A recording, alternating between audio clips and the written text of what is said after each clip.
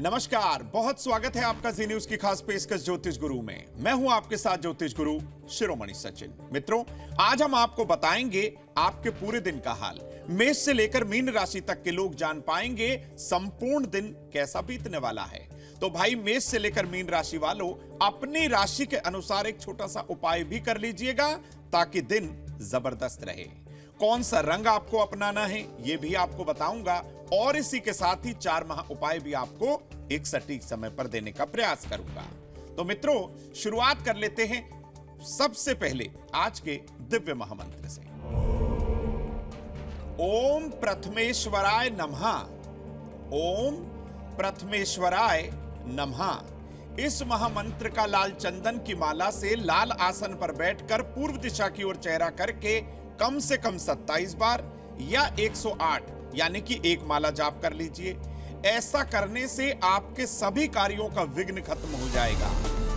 आइए मित्रों, अब आपको अवगत कराते हैं उस महा उपाय से जो आपकी धन की स्थिति को पहले से मज़बूत करेगा। दोस्तों, अगर धन से संबंधित कोई परेशानी है तो ओम धनेश्वराय नमः मंत्र का मात्र 27 बार जाप करके देखिए। एक चुटकी पीली सरसों और हल्दी की एक गांठ आप अपने धन रखने वाले स्थान पर रखिए। यह छोटा सा उपाय करके देखिए मित्रों, धन लाभ ज़रूर होगा। आइए मित्रों, अब बात करते हैं दूसरे उस अचूक सिद्ध महाउपाय की, जो नौकरी की, व्यापार की या फिर आजीविका की। कितनी भी बड़ी समस्या क्यों ना हो, उसको खत्म करने में आपकी सहायता अवश्य ही करेगा। एक जटा वाला नारियल हल्दी के साथ भगवान विष्णु को अर्पित करिए। ओम पुरुषोत्तमाय नमः। ओम पुरुषोत्तमाय नमः मंत्र का कम से कम 108 बार जाप करिए। इस मंत्र के प्रभाव से आपकी आजीविका की समस्या बिल्कुल खत्म। आइए मित्रों, बात करते हैं तीसरे उस महा उपाय की जो आपकी सेहत को, आपकी हेल्थ को एकदम से अच्छा करेगा।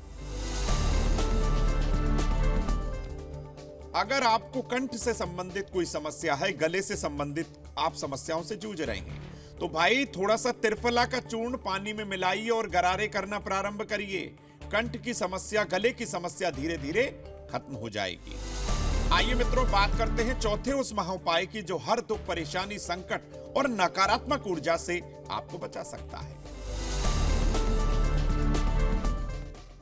अगर आप पर नकारात्मक ऊर्जा का प्रभाव है, आप घर में कहीं ना कहीं अपने आप को असुरक्षित महसूस करते हैं।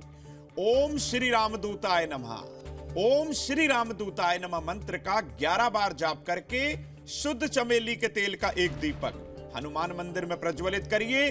तमाम नकारात्मक ऊर्जाओं से आपका बचाव होगा। हर दुख परेशानी संकट हमेशा के लिए खत्म होगा। मित्रों, आज के विषय में इतना ही। कल आपसे फिर मुलाकात होगी। दीजिए मुझे इजाज़त। देखते रहिए जी न्यूज़ नमस्कार।